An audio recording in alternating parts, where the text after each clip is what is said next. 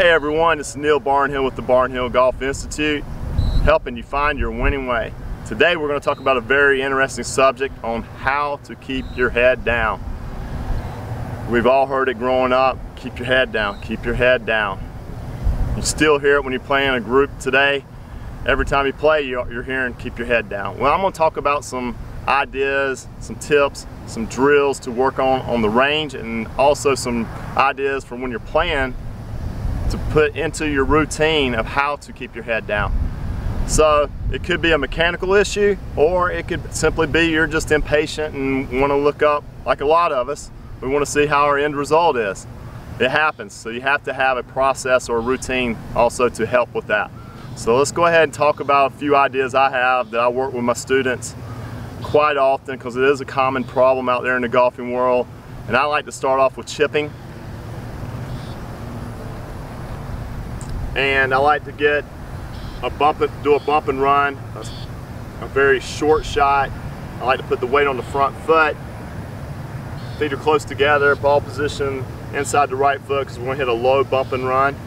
Okay, and I like to put the hands leaning forward, and then from here, I'm going to ask the student, or what I work on myself as well, is I want to chip it, and I want to keep my head down, and I want to feel my right shoulder hit myself in the chin okay?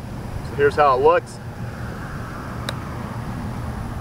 Okay, and that was relatively easy to do. I just gave myself an idea of what to do. But that feel is a great, it's a great idea. And also, what I like to do when I play a competition, I used to do it with my mentor and coach. Back in the day, we, we used to have a fun time with this. And when you first started, you will not believe how much probably you were off on your feel because it, it is just different for a lot of people. So the drill I'm talking about when you're practicing for, you can do it competitively, when you're doing it out on the range or chipping is hit, get up, set up to it, let's chip it, but you have to guess where the ball lands and where it ends up without looking, okay? Then you can look up. So here, we're gonna do that.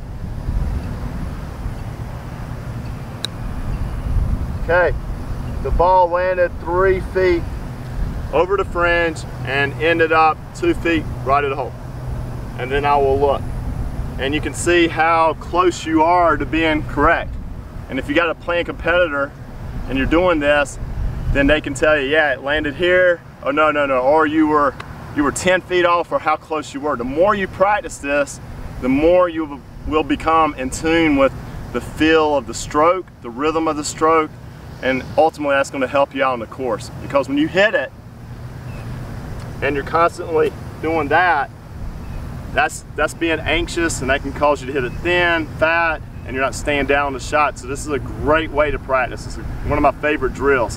It takes a little bit of discipline but hey that's what's going to help you take it to the next level with your chipping.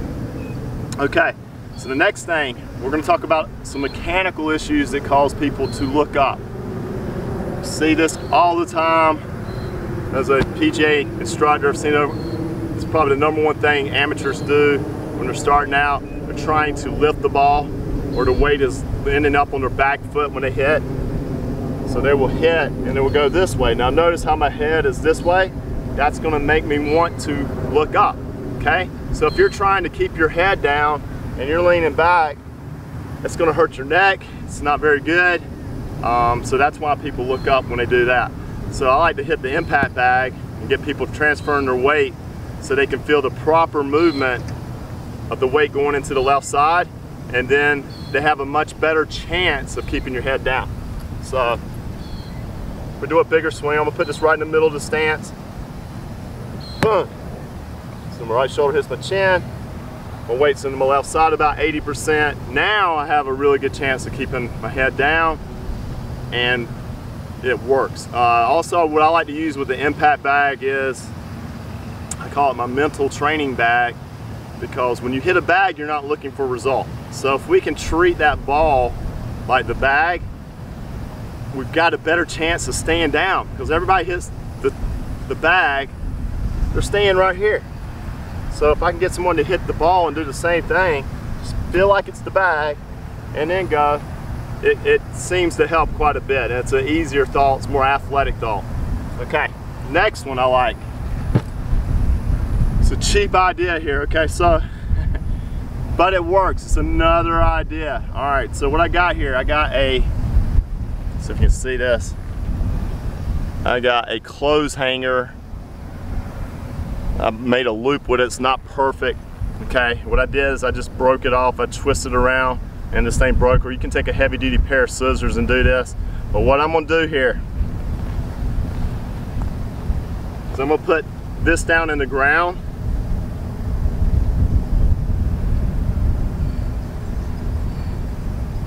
Okay, now when I'm set up, I actually can see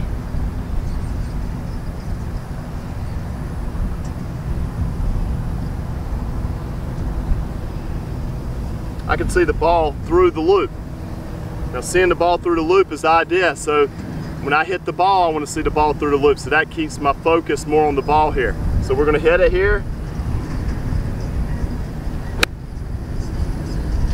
and the ball, I can see it the whole time through the loop and I was just, it's an easy thing to do. So that's a great drill. I mean, that doesn't cost any money. Everybody's got a metal clothes hanger.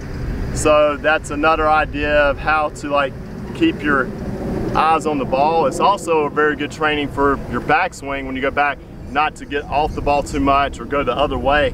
If you can see that ball the whole time in your swing, it's gonna keep your head stay stay still, which is a good thing in golf, okay? So that's another idea. Another one I like to do, and this is part of the routine I was talking about, you can take this to the course. I like, a lot of people uh, on the tour, Jack Nicklaus used this idea, had a pretty good career, is you can, when you're, when you're playing, you can pick an object out in front. I got a ball out here three feet, that's gonna be my target line. So when you're playing, you can pick that out for aim, okay? And you can get set up here. And then get your feet parallel to that target. All right, but what we're gonna use it for the head down is what we wanna see here is when you hit it, I wanna hit the ball. As soon as I hit the ball, I wanna take my eyes and go here and then follow the ball. Okay, so it's gonna go like this. Okay, and that ball went really good, straight. You can see my weight go forward.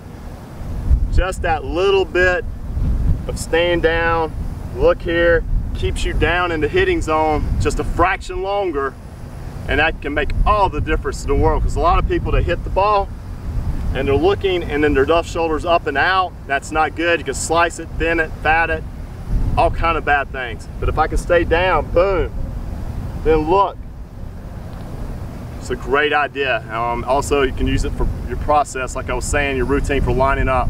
Just a great drill.